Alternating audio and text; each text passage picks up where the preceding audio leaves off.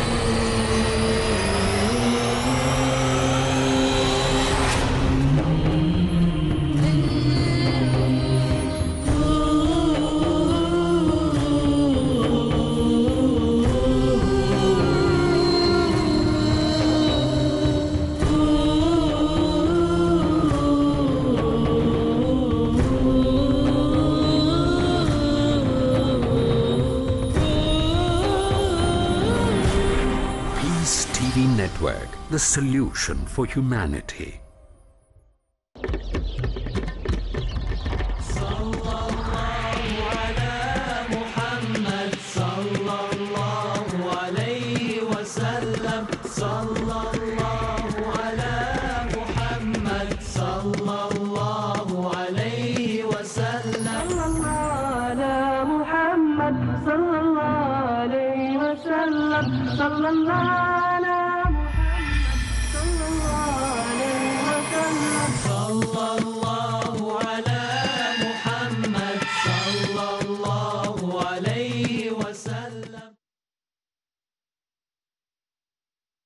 السلام عليكم ورحمة الله وبركاته الحمد لله الحمد لله رب العالمين الملك الحق المبين أضاء قلوب أوليائه بالهدى واليقين والصلاة والسلام على النبي الأمين حبيبنا محمد بن عبد الله عليه أفضل الصلاة وأزكى التسليم وآله وأصحابه وأزواجه وذرياته وعلى من تبعهم بإحسان إلى يوم الدين أما بعد সুপ্রিয় দর্শক শ্রোতা পৃথিবীর যে প্রান্তে, যে দেশে বসে পৃথিবী বাংলার এই সুন্দর আয়োজন দেখছেন, আপনাদের প্রত্যেককে অনেক অনেক মোবারকবাদ জানাচ্ছি।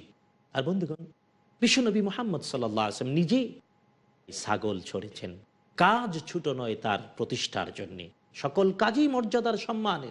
কাজের ভিত্তিতে সম্মান আর মর্যাদা প্রতিষ্ঠিত হয় না।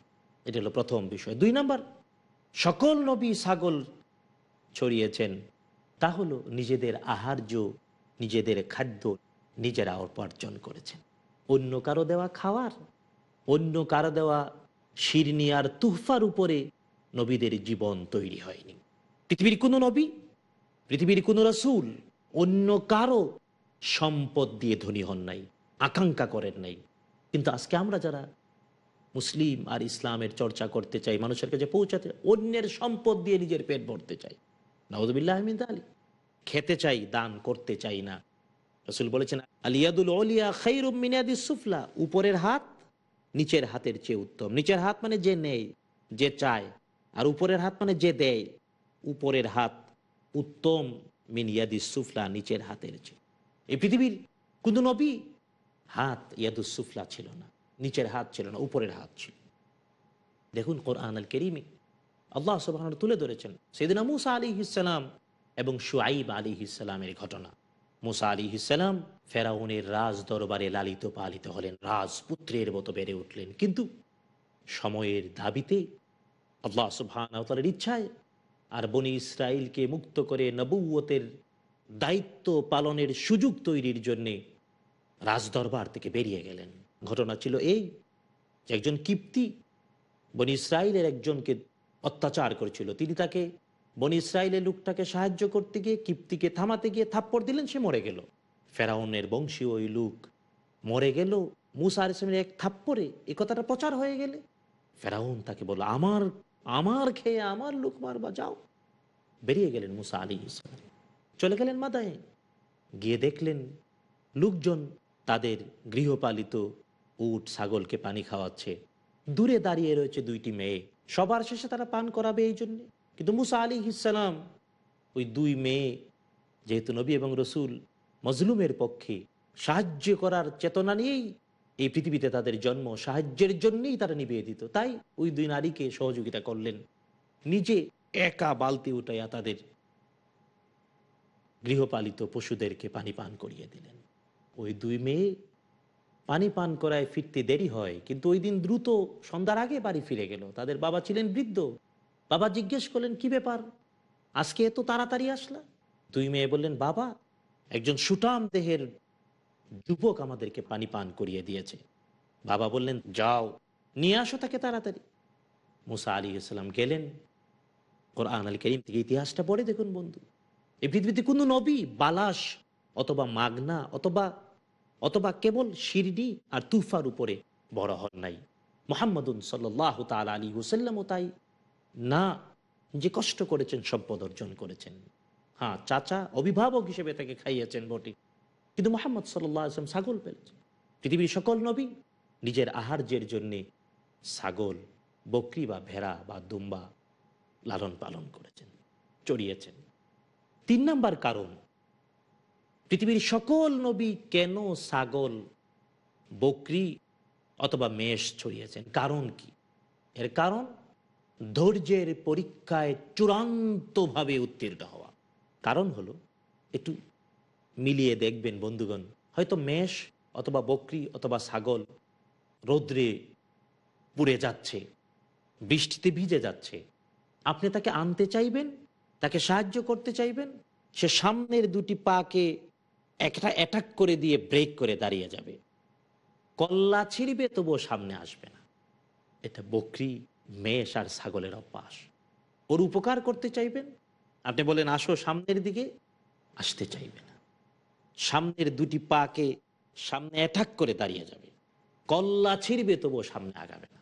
তো যে প্রাণীর উপকার আপনি করতে গেলে সে বুঝে না, এর নাম বকরি বা ছাগল। রব্বুল আলমিন সকল নবীকে প্রথম বকরি লালন পালন করালেন। কারণ যাদের উপকার করতে চাবে তারা বুঝবে না, কিন্তু তার মানে তখন পিটনি দিয়ে কল্লা ছিঁড়ে ঠ্যাং উঠাইয়া নিয়ে আসবে না, বরং ধৈর্য এবং সহিষ্ণুতার সাথে।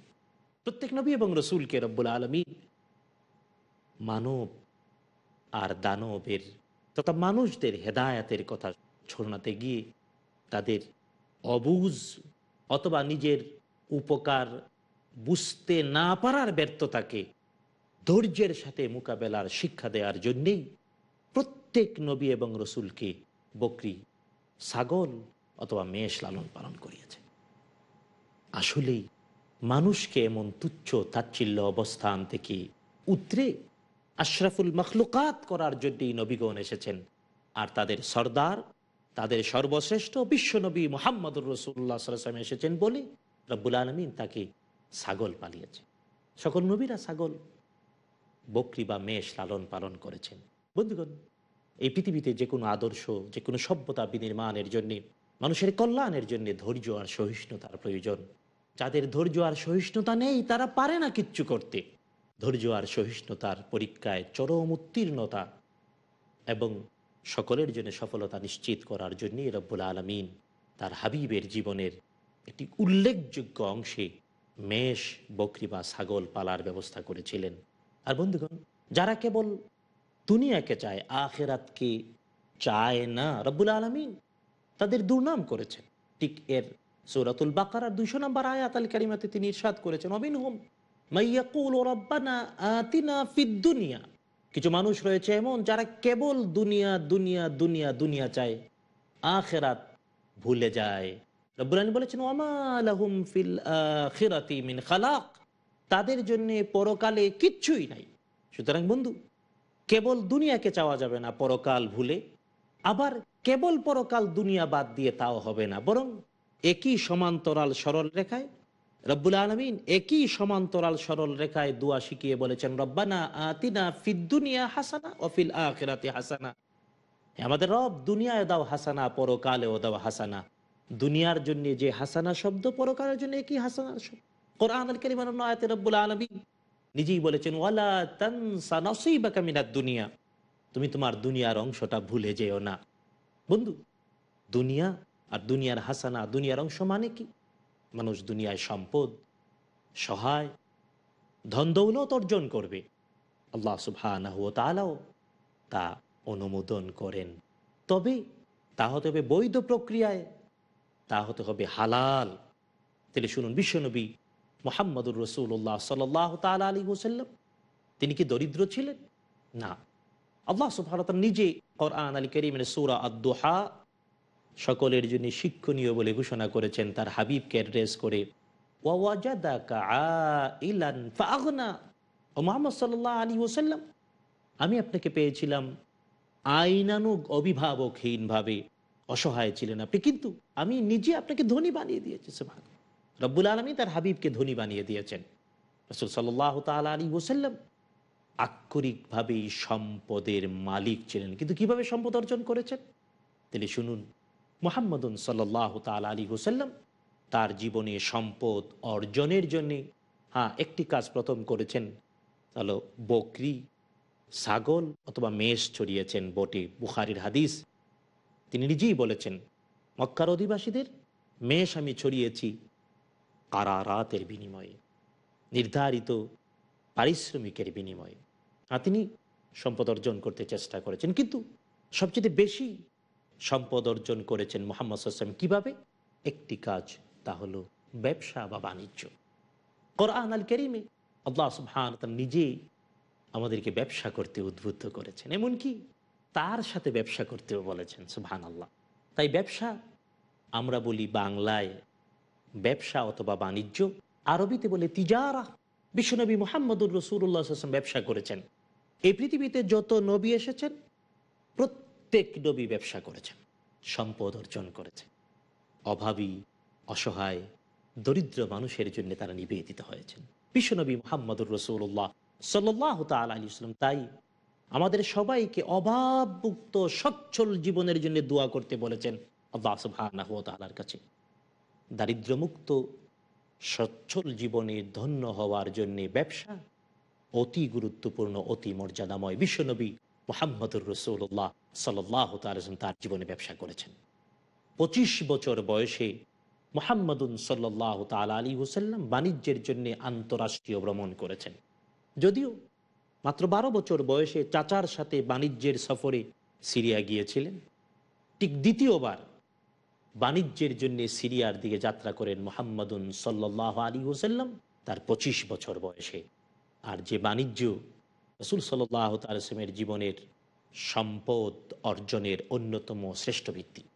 হারবুল ফুজ্জারের পরে হিলফুল ফুজুল ঘটন সহ জনসেবায়, মানুষের সেবায়, সত্যবাদিতায়, আমানতদারিতায় মাহাম্মদুন সাল্লাহ আলী ওসাল্লামের গুণাবলী সর্বত্র ছড়িয়ে পড়ল। অন্ধকার যুগের পাপিষ্ট মানুষেরা, মিথ্যুক মানুষেরা, আমানতের খেয়ানতকারী মানুষেরাও মোহাম্মদ বিন আবদুল্লাহ সাল্লাহ আলী ওসাল্লামকে আল আমিন আসাদেক উপাধিতে ভূষিত করল। ছড়িয়ে পড়ল সর্বত্র মোহাম্মদ সাল্লাহ সত্যবাদী তার গুণ আমানতদারিতার গুণ। বন্ধুগণ, আমরা এই প্রসঙ্গে আরও আলোচনা করব। তবে একটি ছোট্ট বিরতির পর ততক্ষণ আমাদের সাথেই থাকুন।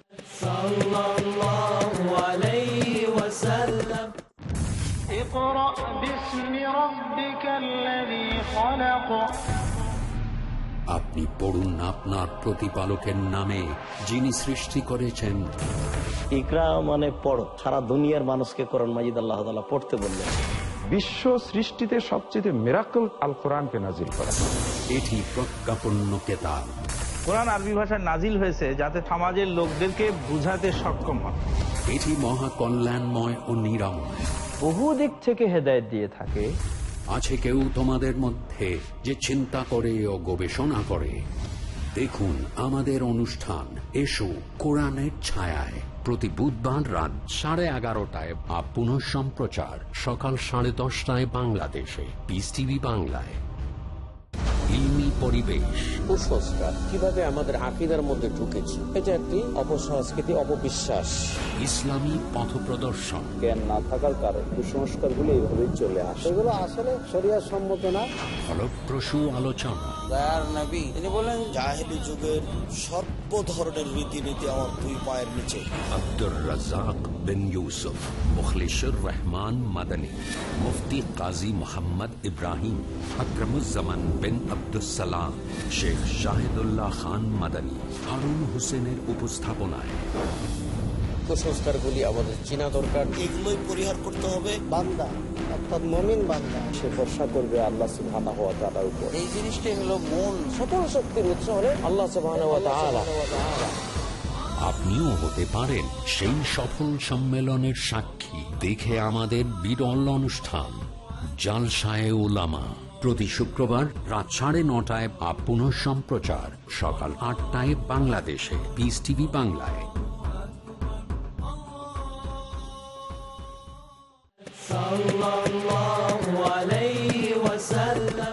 আসসালামু আলাইকুম রহমতুল্লাহ বন্ধুগণ, ছোট্ট বিরতির পর আমরা আবারও ফিরে এলাম। বিরতির আগে আমরা আলোচনা করছিলাম, মোহাম্মদ বিন আবদুল্লাহ সাল আলিহি ওয়া আলিহি ওসাল্লামের সত্যবাদিতার গুণ, আমানতদারিতার গুণ, অন্ধকার যুগে আয়ামাল জাহিলিয়াতে আরবের সর্বত্র ছড়িয়ে পড়েছিল। আরবের অন্ধকার যুগে কিছু কিছু মানুষ ছিলেন যারা পবিত্র। এর মধ্যে একজন নারী, যিনি তার পবিত্রতার জন্যে অন্ধকার যুগে ও তাহেরা বা পবিত্রা গুণে, পবিত্রা লকবে ধন্য হয়েছিলেন। তার আসল নাম ছিল খাদিজা, তার বাবার নাম ছিল খোয়াইলিদ, খাদিজা বিন্তু খোয়াইলিদ। আনহা ওয়ারদাহা তিনি অন্ধকার যুগেও পবিত্রা নামে ভূষিত ছিলেন। তিনি ধনাঢ্য ছিলেন। তিনি ব্যবসা পরিচালনা করতেন, বাণিজ্য করতেন। তিনি নিজে যেতেন না। তিনি লোকজন বাছাই করে করে বিভিন্ন দেশে আর প্রদেশে কাফেলা পাঠাতেন আর নিজে কন্ট্রোল করে করে বুদ্ধিমত্তা আর বাণিজ্যিক গুণ, ব্যবসা পরিচালনার গুণ দিয়ে তিনি ব্যবসা পরিচালনা করে ধনী হয়েছিলেন। যদিও তার বিবাহ হয়েছিল এবং প্রথম বিবাহে তার গর্বে দুই কন্যা এক পুত্র ছিল বলে ঐতিহাসিক বর্ণনায় প্রমাণিত। কিন্তু মোহাম্মদ সাল্লাহ আলী ওসাল্লামের সত্যবাদিতা এবং সততার গুণ যখন তার কাছে পৌঁছালো, তখন তিনি ছিলেন বিধবা। তবে সম্পদের অধিকারিণী। বয়সে চল্লিশ ছয় ছয় এমন। অপরদিকে মোহাম্মদ সাল্লাহ আলী ওসাল্লামের বয়স পঁচিশ। কিন্তু তার সত্যবাদিতা, তার আমানতদারিতা, যখন খাদিজুল কুবর আরতি আল্লাহ শুনলেন, তিনি অভিপ্রায় ব্যক্ত করলেন তার বাণিজ্য পরিচালনার জন্য মোহাম্মদ সাল্লাহ আলী ওসাল্লামকে কাছে পেতে। হ্যাঁ আনুষ্ঠানিক প্রস্তাব পাঠালেন খাদিজাতুল কুবর আরদি আল্লাহ তালানহা অর্থাৎ সেই সময়ের খাদিজা, পরবর্তীতে আমাদের মা। তিনি প্রস্তাব পাঠালেন, মোহাম্মদ বিন আবদুল্লাহ আলী আফজলুসাল্লাহ আসকাত তসলিমের কাছে তার বাণিজ্য পরিচালনার জন্যে। তবে হ্যাঁ খাজিদুল কুবরা এবং মোহাম্মদ সাল্লাহ আলী ওসাল্লাম দুজনের মাঝে ওই সময়ে বাণিজ্য পরিচালনার জন্য, ব্যবসা পরিচালনার জন্য যে আনুষ্ঠানিক চুক্তি অথবা শর্ত হয়েছিল, আধুনিক অর্থনীতির ভাষায়, ইসলামী অর্থনীতির ভাষায় তাকে বলা হয় মোদা আরাবা মোদা আরাবা বাণিজ্য। অর্থাৎ একজনের সম্পদ আরেকজনের শ্রম। সম্পদের যেমন সম্মান, যেমন দাম, মূল্য, ঠিক এমনি শ্রমেরও ঠিক এমন দাম, এমন মূল্য। একজনের সম্পদ দিয়ে আরেকজন শ্রম দিয়ে বাণিজ্য করবে, লাভ বা মুনাফা ভাগাভাগি করে নেবে। মোহাম্মদুন সাল আলী ওসাল্লামের সাথে মোদারাবা চুক্তির বাস্তবতায় খাজিদুল কুবরা রাতি আল্লাহ আনহা তার পক্ষ থেকে প্রেরিত প্রস্তাব মোহাম্মদ বিন আবদুল্লাহ আলী আফজলুসাল্লাহ আজকে তসলিম কবুল করলেন। হ্যাঁ চাচার সাথে পরামর্শ করলেন। তার আপনজনদের সাথে পরামর্শ করলেন।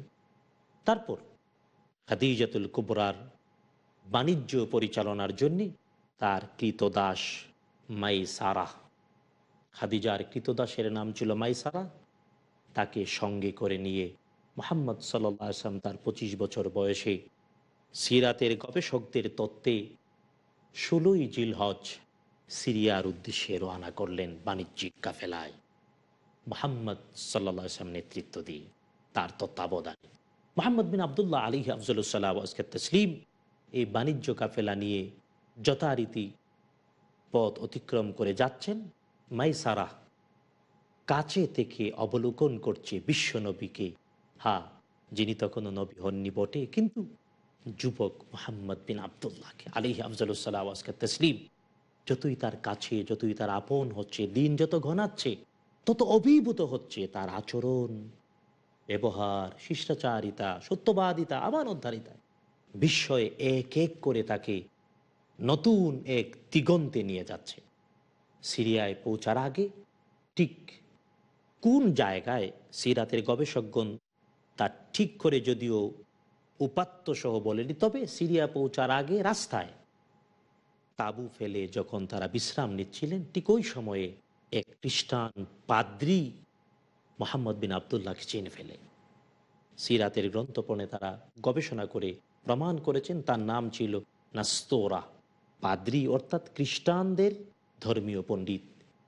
কারণ সে তাওরাতের বিবরণ ইনজিলে মোহাম্মদ সাল্লামের নাম উল্লেখ সহ জন্ম, শরীরের গঠন, এই সবগুলো নিয়ে পড়ালেখা করে জেনেছিল। আর তাই নাস্তুরা যখন মোহাম্মদ বিন আবদুল্লাহকে আলী আফজুল্লাহ আসকাত তসিমকে দেখল, তার শরীরের গঠন জানতে চাইল, মাইসারার কাছে তিনি কে? মাইসারা বললেন, আরবের কোরাইশ বংশের আব্দুল মুত্তালিবের নাতি সম্ভ্রান্ত পরিবারের ভদ্র যুবক মোহাম্মদ বিন আবদুল্লাহ আলী আফজুল্লাহ আজকে তসলিম। সে আরও কনফার্ম হলো। মাইসারাকে সে বলল, এই যুবক সাধারণ কোনো যুবক নয়। অপেক্ষা করো। তিনি জগৎ সমূহের জন্য রহমত হিসেবে আরসের মালিকের পক্ষ থেকে প্রেরিত হচ্ছেন। সুতরাং তার সাথে সাবধানে আচরণ করো। মাইসারা আরও নতুন দিগন্তে বিস্ময়ে হতবাক হতে লাগল। অনেক সিরাতের গবেষক বলেন, নাস্তোরা চিনল কীভাবে? নাস্তোরা চিনেছিল ইনজিল এবং তাওরাতের বিবরণ, রসুল সাহসামের জীবনের সাথে মিলিয়ে, দৈহিক গঠনের সাথে মিলিয়ে, বংশ পরিচয়ের সাথে মিলিয়ে। যদিও কোন কোন সিরাত গ্রন্থে এসেছে, মোহাম্মদ বিন আবদুল্লাহ আলী আফজলুসাল্লাহ আজকে তসলিম, নবী হওয়ার আগে যেদিকে যেতেন, গাছপালা আর পাথর তাকে সেজদা করত। ঠিক প্রথমবার সিরিয়া ভ্রমণের সময় বুহায়েরা যেভাবে চিনেছিল, ঠিক এইভাবেই। অনেকেই বলেছেন হ্যাঁ নাসুরা চিনেছিল। আরেকটি কারণে যে মোহরে নবুয় দেখে। মোহাম্মদুন সাল্লাহ আলী হুসাল্লামের পবিত্রতম দুই কাদের মাঝখানে মহরে নবুয় সেব ফলের মতো মহরে নবুয় ছিল। দেখে সে চিনেছিল নাস্তুরা কর্তৃক মোহাম্মদ বিন আবদুল্লাহ সাল্লাহ ইসমের ব্যাপারে এই ভবিষ্যৎবাণী মাইসারাকে সতর্ক করে দিল। সে সত্যিই অনুগত ভূতের মতো মোহাম্মদ বিন আবদুল্লাহ সাল্লামের সাথে পাহারা দিয়ে দিয়ে সিরিয়ায় পৌঁছালো। মোহাম্মদ সাল্লাহ আলী ওসাল্লাম সিরিয়ায় পৌঁছানোর পর সাথে করে নিয়ে যাওয়া পণ্য বিক্রি করলেন। মাইসারা নিজে বিবরণ দিয়েছেন। অবিশ্বাস্য রকম মানুষের ঢল নামলো। অতি অল্প দিনে আমাদের সকল পণ্য শেষ হয়ে গেল এবং অনেক লাভ হলো, প্রায় দ্বিগুণ লাভ হলো। ফেরার সময় হলো, সিরিয়া থেকে ঠিক আবার কিছু পণ্য কিনে আমরা রওনা দিলাম। আর হা, দ্বিগুণ লাভ সিরিয়ায়? আবার সিরিয়া থেকে কিনা পণ্য নিয়ে আবার মক্কার দিকে রওনা। পৌঁছে গেলাম মক্কাতুল মোকাররামায়। মক্কায় পৌঁছে সিরিয়া থেকে নিয়ে আসা পণ্য আবার যখন বিক্রি করা হলো, আবার দ্বিগুণ লাভ হলো। আর এই লাভের এই মুনাফা পাওয়ার অন্যতম বড় বিষয় ছিল মোহাম্মদ আসলামের সত্যবাদিতা, আমানতদারিতা। ব্যবসা পরিচালনায় তার নৈতিক এবং মানবিক গুণাবলী। বন্ধুগণ, প্রসঙ্গত বলতে হয়, ব্যবসা করতে গেলে ব্যবসার আয় এবং ব্যয় পাই টু পাই লিখে রাখতে হবে। হিসাব ঠিক থাকতে হবে। দুই নাম্বার, ওজনে কম বেশি করা যাবে না। তিন নাম্বার, ভেজাল করা যাবে না। অথচ দুর্ভাগ্য, আজকে এই সবগুলোতেই আমাদের ব্যর্থতা। এই পৃথিবীর সকল নবীগণ ব্যবসা করেছেন, বাণিজ্য করেছেন। মোহাম্মদ সাল্লাহ আলী হোসাল্লাম বাণিজ্য করেছেন। আর খাদিজুল কুবরা তালানহা রসুল সাল্লামকে তার পঁচিশ বছর বয়সে সিরিয়ায় আন্তরাষ্ট্রীয় বাণিজ্যে পাঠিয়ে অবিশ্বাস্য রকম লাভ পেলেন। এই লাভের চুক্তিবদ্ধ বাস্তব অর্থ তিনি নিজে মোহাম্মদ হাসানকে দিলেন। শুধু তাই না বন্ধু খাজিদুল কুবরা, খাদিজা বিন্তু খোয়াইলিদ পরবর্তীতে তিনি মোহাম্মদ বিন আবদুল্লাহ সাল আলী ওসাল্লামের বাণিজ্য পরিচালনার গুণে বিমোহিত হলেন। পাশাপাশি তার কৃতদাসের মুখে তার অমীয় চরিত্র, সত্যবাদী তার বাস্তবতা, আমানতদারিতার অপূর্ব সত্তা শুনে শুনে বিমোহিত হলেন। বাণিজ্য পরিচালনার শর্ত অনুযায়ী, মুদারাবার চুক্তি অনুযায়ী সম্পদ তো দিলেনই এমনকি নিজেকেও তার কাছে সমর্পণ করে দিলেন। সিরিয়া থেকে বাণিজ্য করে ফিরে আসার মাত্র দুই মাসের মধ্যে বিশ্বনবী মুহাম্মাদুন, অর্থাৎ তৎকালীন যুবক মোহাম্মদ বিন আবদুল্লাহ সাল্লাহ আসলামের সাথে অন্ধকার যুগের তাহেরা, পবিত্রা ধনাঢ্য রমণী খাদিজতুল কুবরা রাদি আল্লাহ তালা বিবাহ সম্পাদিত হয়। বন্ধুগণ, আসুন না বিশ্বনবীর পবিত্র জীবনী থেকে আমরা শিক্ষা গ্রহণ করি। আল্লাহ তাআলা আমাদের সকলকে তৌফিক দিন আমিন হাদা মা ইনদি ওয়াল ইলমু ইনদাল্লাহ আলাইহি তাওয়াক্কালতু ওয়া ইলাইহি উনীব আসসালামু আলাইকুম ওয়া রাহমাতুল্লাহি ওয়া বারাকাতুহু الله على محمد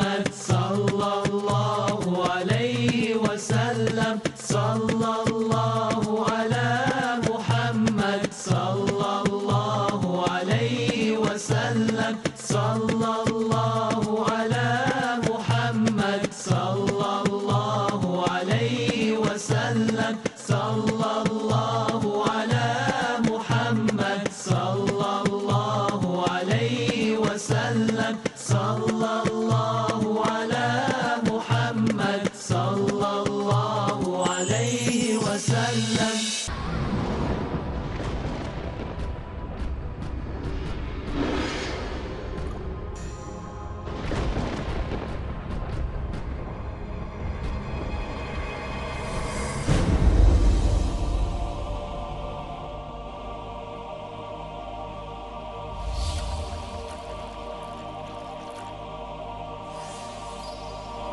কখনো কয়েক ফোঁটা পানি একজনের তৃষ্ণা মেটাতে পারে।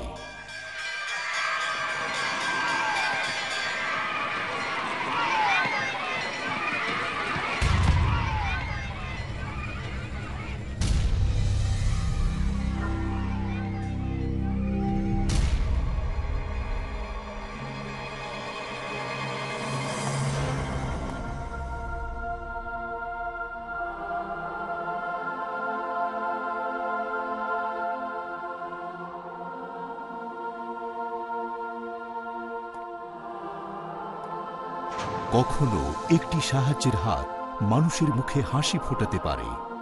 আমাকে খেলনাটা একটু দাও না দাও না দাও না। না দেবো না দেবো না দেবো না।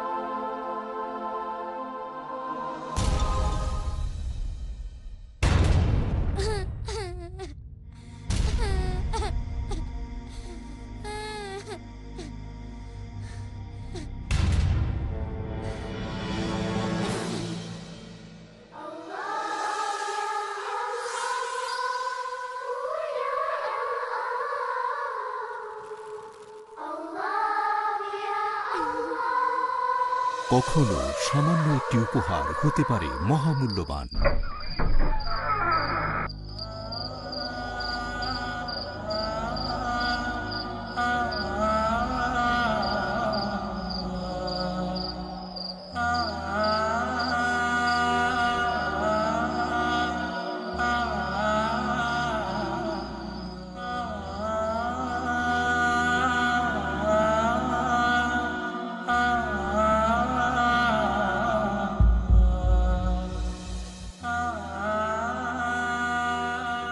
কখনো একটি জীবন দর্শন মানুষের মনে জাগাতে পারে আশার আলো।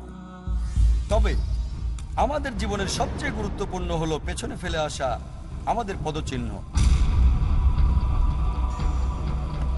মুক্ত হস্তে দান করুন, সেই পদচিহ্নই রেখে যান, যেভাবে স্রষ্টা আমাদের জীবনটাকে পরিচালিত করতে বলেছেন।